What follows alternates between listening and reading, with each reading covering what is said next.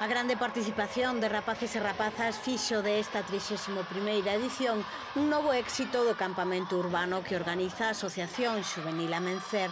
Este ano houbo un total de 791 participantes de entre 8 e 16 anos de idade.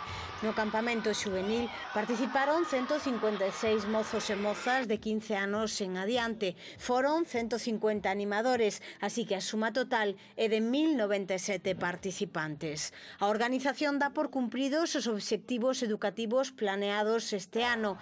As actividades programadas leváronse a cabo tal como foron deseñadas. O ambiente xeral dos participantes participantes entre sí e cos animadores foi cualificado como moi bo e positivo, algo especialmente valorado polas familias. Nenos e maiores seguen preferindo que as actividades se dividan cada día, convertendo cada xornada en nove propostas distintas. A pesares da colaboración da Consellería de Xuventude do Concello de Ourense, tanto na facilidade na utilización de instalacións municipais como na axuda económica e do apoio económico tamén da Deputación Provincial, esta edición do Urbano pecha con déficit a aumentar a media diaria de participantes no campamento infantil.